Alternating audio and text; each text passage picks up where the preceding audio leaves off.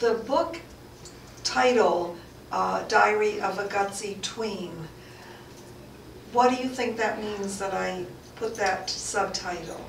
Um, well, gutsy means that you're like brave, um, and like know you can do like anything if you try hard enough to do it. And so the girl, um, she tries hard and she achieves a lot of her goals.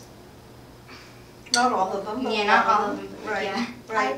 I think it means like braver also bravery also, but like if you're like, you know, your age or whatever, like growing up, like that takes bravery. Like some girls just like like go to school and sit in the room and cry, like don't talk to anyone, like that's not Yeah. bravery. You know, like if you're brave, you like, you know, like talk to your parents. Like it's brave to talk to your parents about it. Yes, it is, and it's brave to ask them questions Yeah. and even say, look, I'm upset, I know this is happening, but, and you're ignoring me, I need to talk more about it.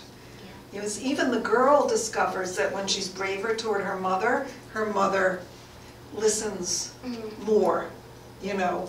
Sometimes somebody isn't that good a listener, but if you say, you have to listen to me, they start to listen.